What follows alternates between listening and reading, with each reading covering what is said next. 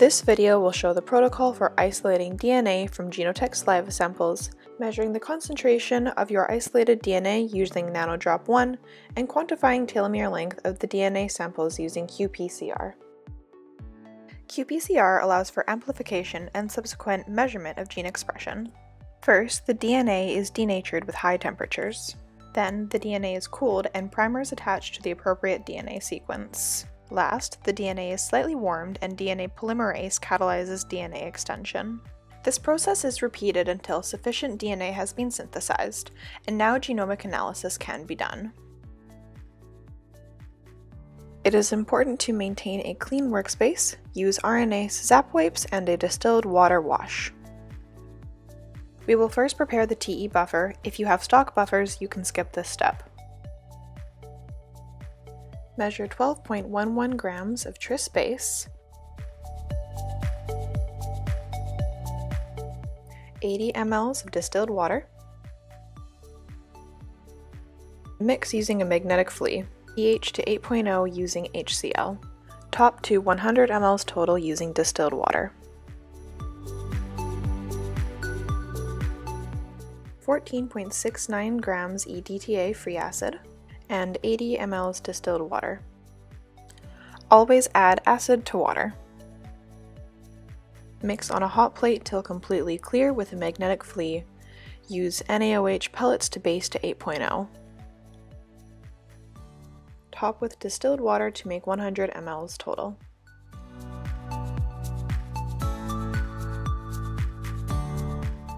One thousand microliters tris HCl, 200 microliters EDTA, and 98.8 milliliters distilled water. Confirm pH is 8.0. Incubate sample for 1 hour in 50 degree water. Squeeze out all sample from the swab. Transfer 500 microliters of sample into a microcentrifuge tube. Add 20 microliters of PrEP L2P mixed by vortex. Incubate 10 minutes on ice and place tubes in a known orientation in the centrifuge. The pellet containing impurities will be visible at this stage. Collect supernatant without disturbing the pellet.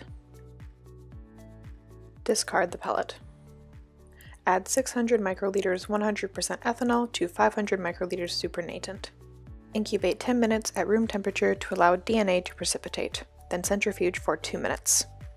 You will most likely not be able to see the pellet, but will know how to locate it based on its orientation in the centrifuge. Remove the supernatant without disturbing the pellet. Be very careful. Now a 70% ethanol wash will be used to purify the DNA. Pulse spin the DNA and ethanol and then very carefully remove all of the ethanol. Kim wipes can be used to assist this process, as well as a quick dry on the hot plate. Rehydrate the DNA by adding 100 microliters of TE solution, vortex to mix. Incubate 1 hour to ensure full rehydration.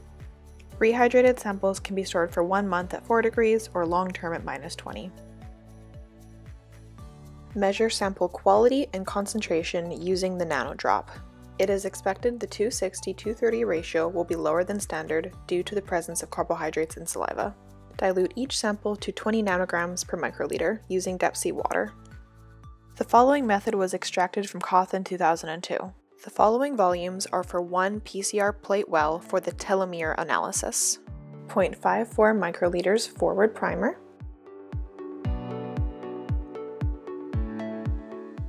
1.8 microliters reverse primer, 10 microliters SYBR Green Master Mix, and 6.66 microliters DEPC water.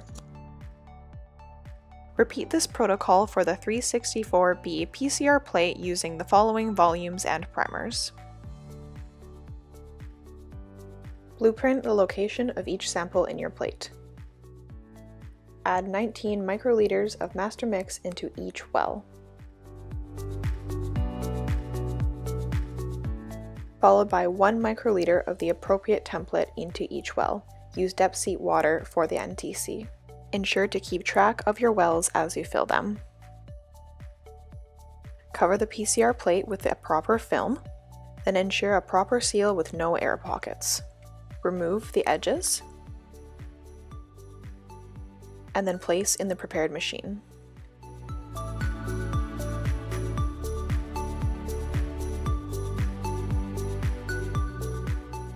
Open a new protocol under File, then name your protocol. Set your cycling parameters and melt curve. Based on your blueprint, assign each sample to the proper well.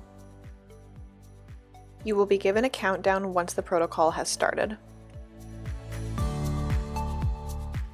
Simply right-click on your sample of choice, export to Excel, name your file, and all results for that sample will open in Excel. Repeat this protocol using the 36B4 gene instead of the template.